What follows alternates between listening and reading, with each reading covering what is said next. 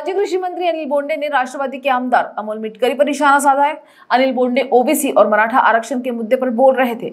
उन्होंने कहा कि अमोल मिटकरी ने ओबीसी और मराठा समाज की जनता को फंसाया है। माजी कृषि मंत्री अनिल बोंडे ने कहा कि राष्ट्रवादी के आमदार अमोल मिटकरी ओबीसी और मराठा को फंसाने का काम कर रहे हैं। और यह बात अब सभी को समझ में आ गई है।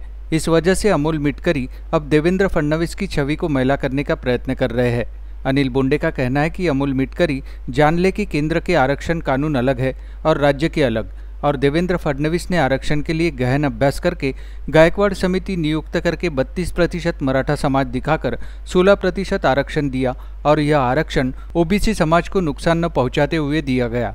लेकिन अमूल मिटकरी ने यह आरक्षण गवा दिया और शरद पवार ने भी ओबीसी को दुर्लक्षित किया।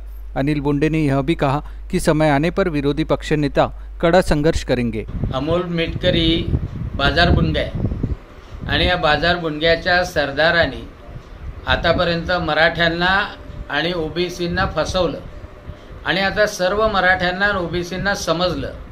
त्याच्यामुळं अमोल मिटकरी हा देवेंद्र फडणवीसावर चिकलफेक करण्याचा प्रयत्न करतो त्यांनी जाणून घ्यायला पाहिजे की केंद्राचे आरक्षणाचे कायदे अलग आणि राज्याचे कायदे अलग. याद्याही अलग. राज्याच्या सूचीमध्ये मराठ्यांना आरक्षण मिळावं म्हणून माजी मुख्यमंत्री देवेंद्र फडणवीसांनी अभ्यास करून आणि सर्वात महत्त्वाचं गायकवाड समिती नेमून बत्तीस टक्के मराठा समाज आहे हे दाखवून सोळा टक्क्याचं आरक्षण दिलं. त्यावेळेला सगळ्या राष्ट्रवादीवाल्यांनी काँग्रेसवाल्यांनी सगळ्या मराठा नेत्यांनी टाळ्या वाजवल्या. आणि ते आरक्षण ओबीसीला धक्का न लावता दिलं. आणि महत्वाची गोष्ट म्हणजे हायकोर्टामध्ये टिकून दाखवलं. पण यांनी सुप्रीम कोर्टामध्ये कधी तयारी केली नाही. सुप्रीम कोर्टामध्ये अनेक वेळा चालढक्कल केली आणि मराठ्यांचं आरक्षण घालवलं. हे पाप याच्या मालकाचं आहे. शरद पवारांचं आहे. आणि ओबीसीसाठी तर अक्षम्य दुर्लक्ष. म्हणजे इम्पेरिकल डाटा करा. हे देवेंद्र फडणवीस पहिल्या दिवसापासून सांगत होते. ट्रिपल टेस्ट पहिल्या दिवसापासून सांगत होते. आज मागासवर्गीय आयोग नैमा हे पहिल्या दिवसापासून सांगत होते. विधानसभेत सांगत होते बाहेर सांगत होते. तर हे केंद्राकडे बोट दाखवत होते.